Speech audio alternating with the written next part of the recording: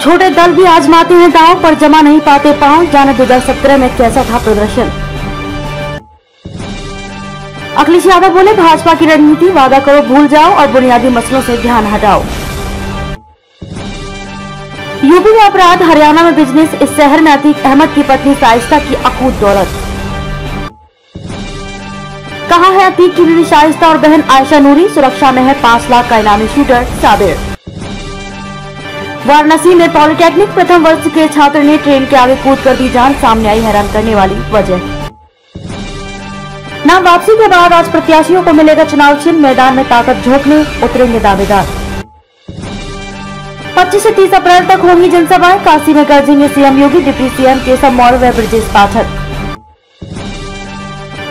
महाविद्यालय के लिए मिले थे 90 लाख रुपए, कॉलेज के लिए गेस्ट हाउस का संचालन। गोरखपुर में सुबह सात बजे ही दोपहर के बारह बजे जैसी धूप का ताप बरस रही है आग